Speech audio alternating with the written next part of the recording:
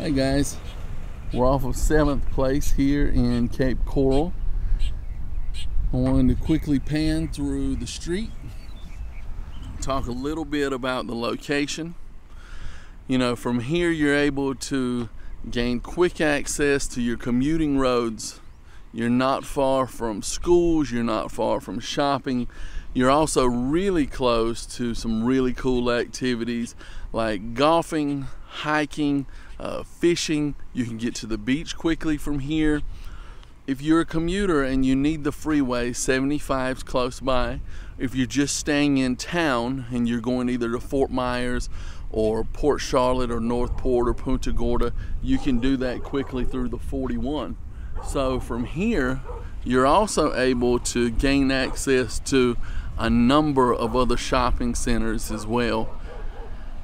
Really well placed, tons of conveniences. It's pretty much everything you know a family's looking for in regards to placement because the schools are close by, softball parks, water parks. There's a number of different things that are available for you. It's just a good lot. It's a good location.